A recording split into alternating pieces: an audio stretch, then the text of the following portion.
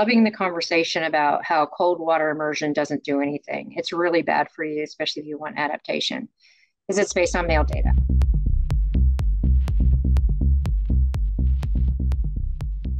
What about recovery? Because you said before you've emphasized or you've pushed the idea that women, when you're not just small men, whereas a lot of the recovery protocols are kind of just kind of adapted from what the science has told us about what is optimal from a male perspective. How do recovery strategies change through a woman's life journey based on the training protocols you've mentioned?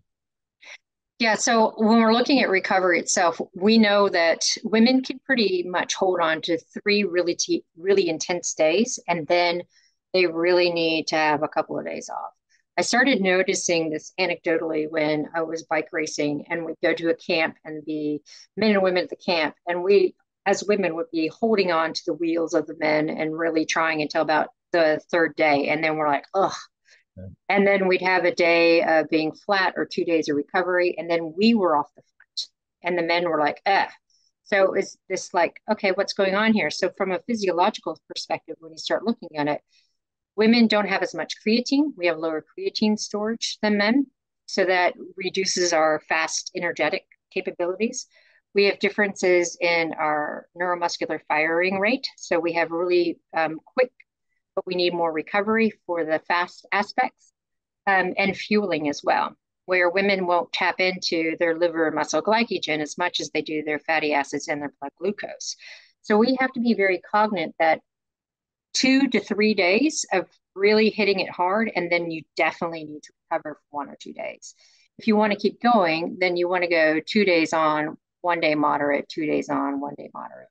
For men, it doesn't matter. You can see them go hard for a week and then uh, they crash, they need a day, and then they're good to go again.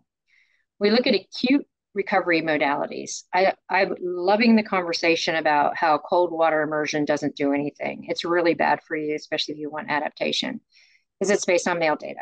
When we look at female data, because women vasodilate post exercise, so all their blood goes to the periphery, having cooling mechanisms sends it back centrally so then they can improve their recovery.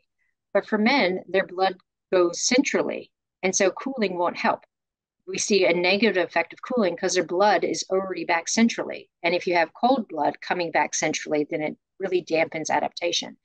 But for women, vasodilation, some cooling, shutting it back into central, then we can flush our muscles and everything out after we get out of the cold. So there are different strategies that we have to be aware of.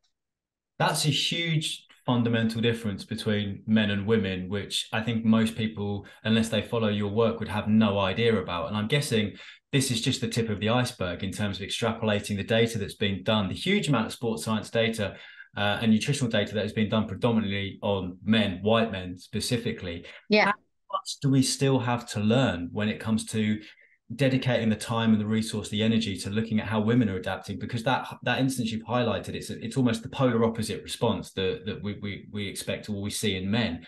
It must be incredibly exciting, but also incredibly frustrating that there's a huge amount of data still there to be discovered. Yeah, and I mean, this is where I get kind of frustrated with sports science as well, because now there's this big call, not enough research. We don't have anything for women. We need to do more research. Where I'm like, hold on, yes, of course, in sports science, we see these these systematic reviews that are saying we need more evidence. There's nothing for women. But if we look outside of sports science into more biomedical stuff, we see molecular aspects that we can incorporate and extrapolate really good information around women for example, um, like the immune system. So if we look at menstrual cycle effects of the immune system, we see that after ovulation, there's more a pro-inflammatory response. And if we're looking at adaptation, we don't want to put really heavy training loads and reduce recovery after ovulation because there's a systemic inflammatory response that can dampen adaptation. So, from a training aspect, we want to look at things that aren't going to invoke systemic inflammation because we already have that inflammatory response. We see this in um, diabetic research with changes across the menstrual cycle with the way that we can access carbohydrate, how our bodies respond to it, how our bodies respond to um, intense stress. So there's lots of, of really good, robust information that we can extrapolate from outside of the sports science realm. So I get to a point where I'm like, okay, we look at other areas in biomedical science and they've incorporated women recently and they're really getting really good data. So sports science come on stop complaining that there's not enough research for women.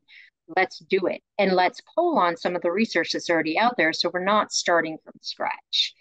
So it is frustrating but it's also good to know that we don't have to start from the very very beginning in basics if we look outside of sports science is there a hope that the uh, rapid rise of personalized medicine, personalized training recommendations, personalized nutrition, the whole personalized medical world that is hurtling towards us, could this help do you feel to to leapfrog some of the gaps we have in information? Can we potentially bypass the decades of studies on, on women that's already been done on men by moving more to a personalized approach where everyone can get recommendations based on their DNA, their gut microbiome, all the other information that we're almost at the, the precipice of unlocking?